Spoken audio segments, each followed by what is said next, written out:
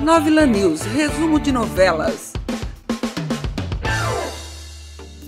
Amor de Mãe, capítulo 108. Álvaro propõe tirar a vida de Camila se Thelma aceitar vender seu restaurante para ele. Thelma pede perdão a Camila e Danilo e os dois estranham.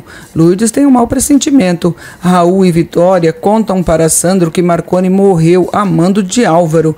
Rian comemora a chegada do livro de Marina. Lourdes pede que Camila não saia de casa. Sandro confronta Álvaro. Durval ajuda Danilo a encontrar as mulheres que deram à luz no hospital no passeio no dia em que ele nasceu.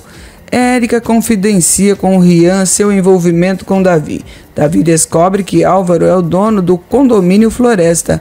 Camila sai de casa e é seguida por Veiga. Danilo descobre que Thelma não perdeu seu filho bebê. Camila é atropelada e Loide se desespera.